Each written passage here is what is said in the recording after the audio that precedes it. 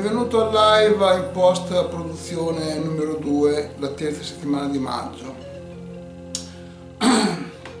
Approfitto per uh, rispondere a Michele Proclamato su due domande che mi ha posto via mail uh, sul vederci per fare un'intervista. Ho scritto alcune cose e poi gli ho detto guarda faccio un live e approfitto per spiegarti meglio perché voglio intervistarti e parlare dei simboli, eccetera. Allora, la ragione è fondamentalmente questa. Io uh, sto realizzando un monumento dedicato alla pace perché nella mia esperienza di artista che è cosciente della realtà, e quando diventi cosciente della realtà non puoi non schierarti dalla parte del buon senso, che può essere chiamata anche bene, buono, mh, mm, positivo, insomma da una parte non puoi non schierarti e con la mia consapevolezza mi sono accorto che l'unica cosa principale, base, che è necessaria alla vita di un individuo e di conseguenza all'umanità è la pace concreta dell'esistenza di un essere umano. Pace concreta, non l'idea di una pace, aderire a un concetto di una pace e restare poi nella stessa situazione che da millenni sappiamo come sta andando in questi ultimi tempi ancora più in maniera drammatica perché beffa della beffa arrivati a questo fatitico futuro immaginato da ragazzini dove sembrava che i problemi fossero quasi tutti risolti ma sulla buona strada per cominciare a vivere questo famoso futuro fantascientifico. Adesso ci siamo ed è un dramma perché tutto quello che vedi all'orizzonte non è altro che nero su nero su nero su nero.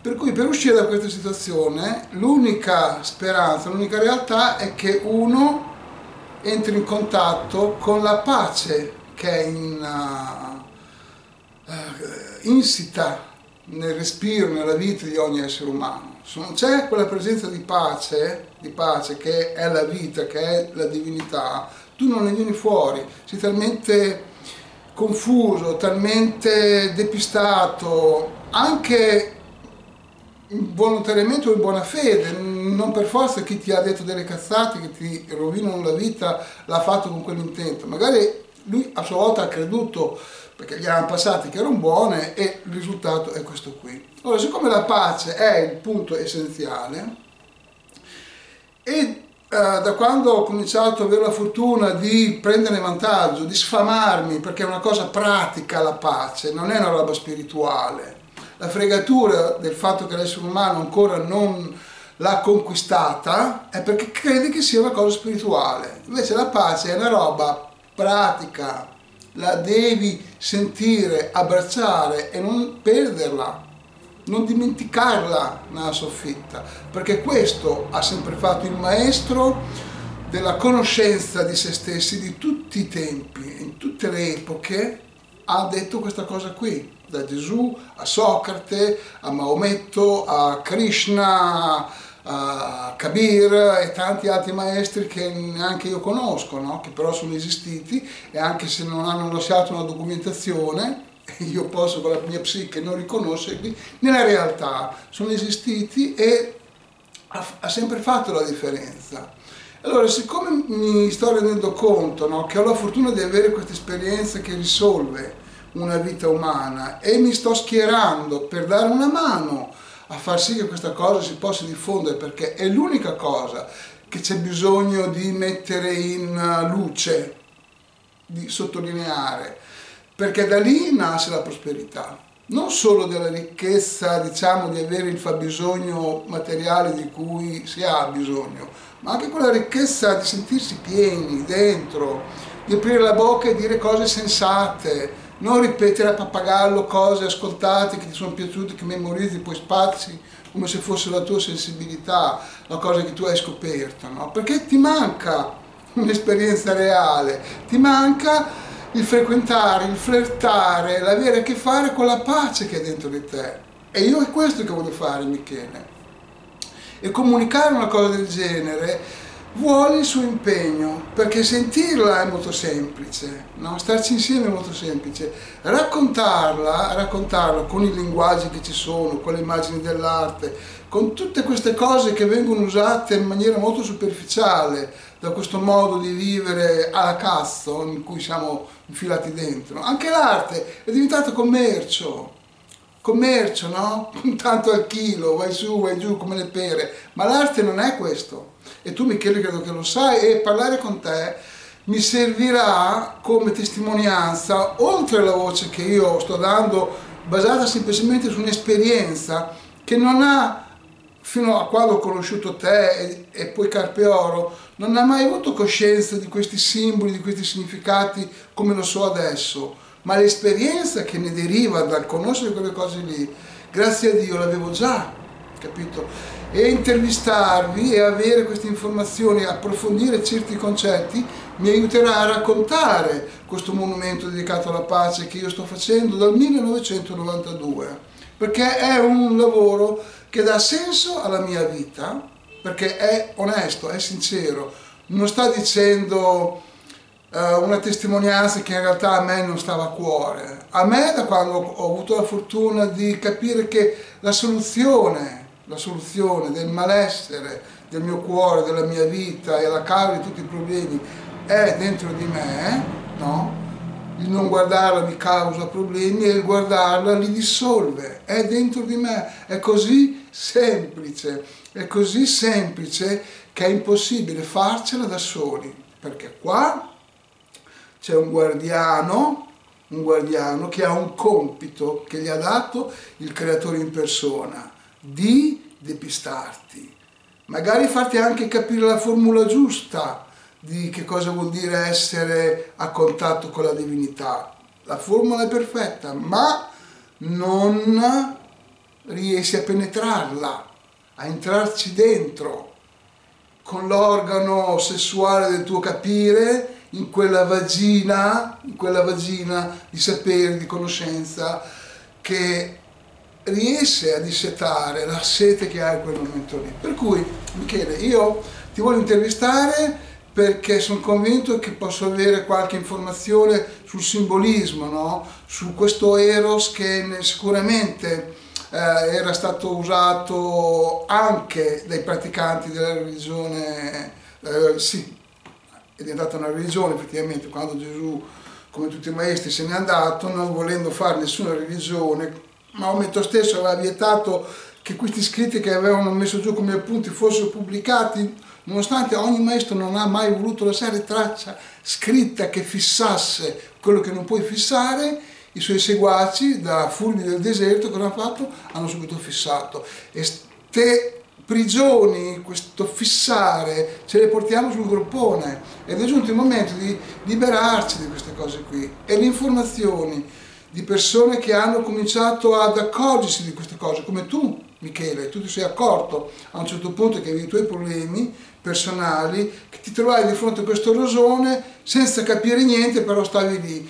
Poi quel capire, che non era solo nozioni, era anche un sentire, ha cominciato a metterti in una situazione particolare, che grazie a Carpe Oro, che, ha, che è un bel filone, lo vedo, una bellissima persona, ti ha messo in una situazione dove io percepisco che adesso tu ti stai chiedendo anche un senso maggiore di quello che hai trovato. E chissà che con questa intervista non possa succedere magicamente quell'aiuto reciproco dove senza volerlo l'un l'altro, semplicemente testimoniando la sua esperienza, arricchisce chi ci si trova di fronte, no?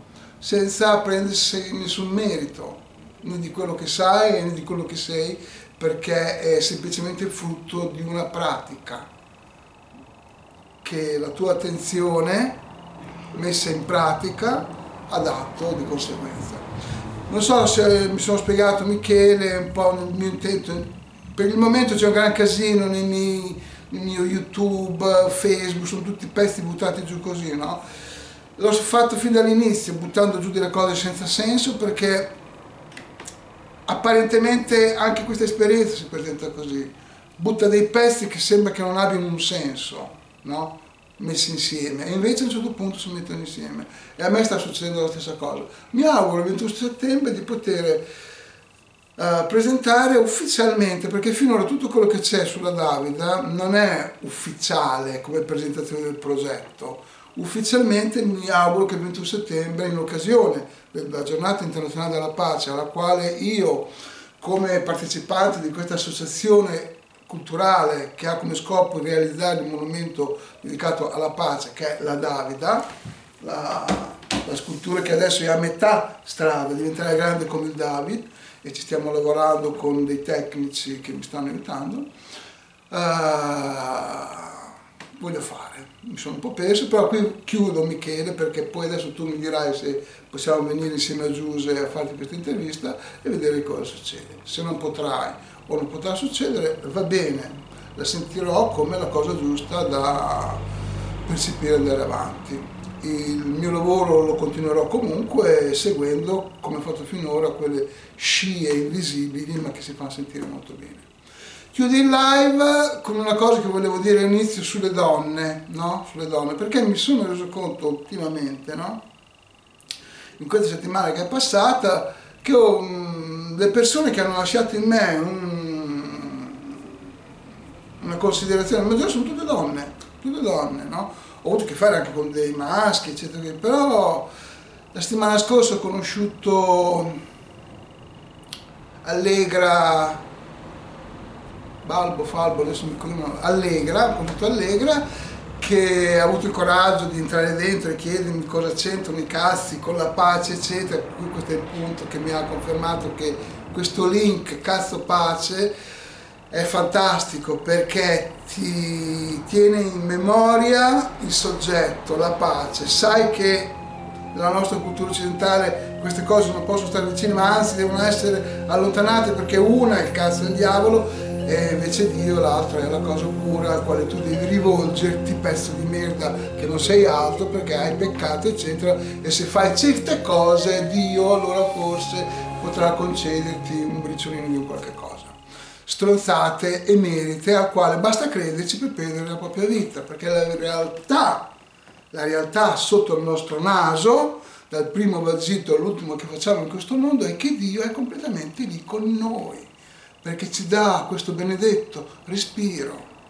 In questo respiro c'è la vita e la vita è solo Dio e se io sono vivo sono la testimonianza che Dio esiste e permette a questo essere che non è cosciente di Dio di esistere un momento su questa terra a fare un gioco, il gioco dell'amore, il gioco della pace, perché alla fin fine è tutto un gioco mi rendo conto adesso che quello che sta succedendo nel pianeta è quello che io facevo da bambino. Quando si trovava con, oggi si pensa alla cosa dei bambini in cortile che giocano, ma io ho avuto questa fortuna. Bambini in cortile giocavano e rientravano in casa tutti quando faceva buio. Estate o d'inverno, quando faceva buio era il segnale che si rientrava in casa. E quando era il momento di giocare ci trovavamo e dicevamo, allora a un certo punto ci, schieravano due fazioni di combattenti, indiani, cowboy, ci si trovava al centro del prato e si diceva guerra o pace? E dall'altra parte diceva guerra, guerra! E si andava e ah, si tirava le frecce, faceva finta di morire, bla bla bla bla e alla fine poi dopo si ritornava a casa e si era giocati a fare la pace, a fare la guerra, no? E ci pensavo qualche giorno fa e dicevo, eh, mai nessuno che dice pace. Mi sembra che una volta, mi sembra che una volta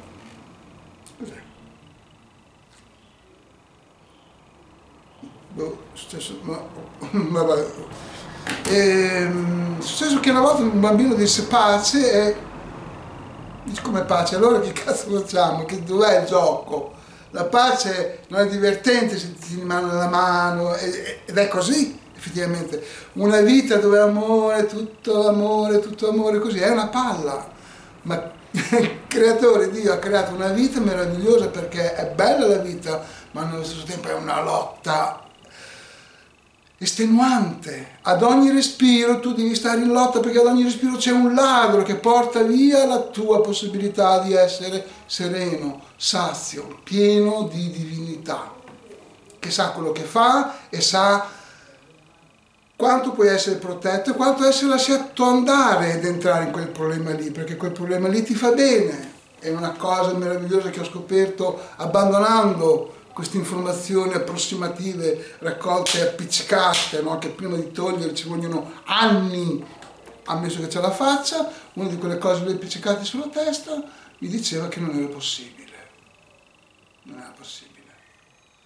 Non era possibile essere pronti, percepire, essere semplicemente a posto, non il Dio dell'universo, no? che ognuno di noi si crede quando la puttanella qui, no? messa lì dal creatore, perché questa puttanella qui non è un errore, è stata messa lì dal creatore per farti difficilissimo un gioco che è di una facilità enorme.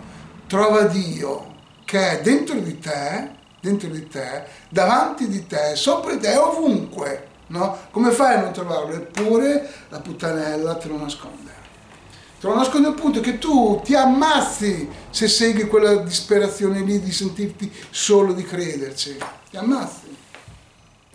Ok, allora dai, parlavo delle donne, poi finisco perché sono sempre molto lungo. Ho conosciuto diverse donne e fra queste donne anche Silvia Aprile con il quale stiamo facendo delle cose con il 3D insieme a Mattia che stiamo dando al corpo della Davida una bella insomma mi sto preparando al meglio per il 21 settembre per presentarla a Davida come non l'avete mai vista non perché non sarà mai così perché come non l'avete mai vista come io voglio portarla è, è la visione che io ho dentro di me che detta a parole è incomprensibile, fraintendibile e la manchi di sicuro.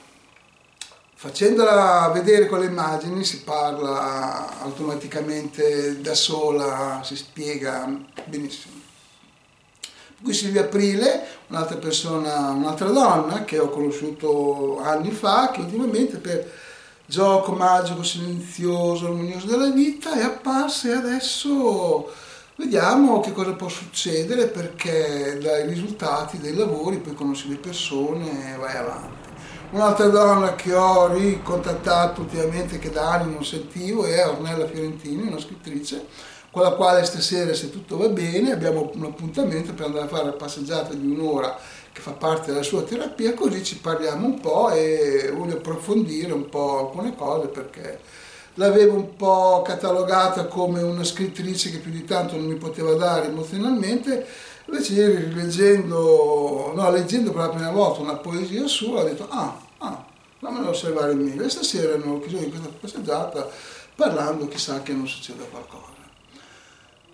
Poi altre donne ho conosciuto, no, no, no, però un'altra donna che ho conosciuto ieri sera, proprio fresca fresca di giornata, è Paola Candelma, mi sembra che chiama Candelma, che ho conosciuto ieri sera uscendo col cane, ehm, fargli fare il suo bel girettino igienico e ci siamo messi a parlare naturalmente con una, mm, come dire,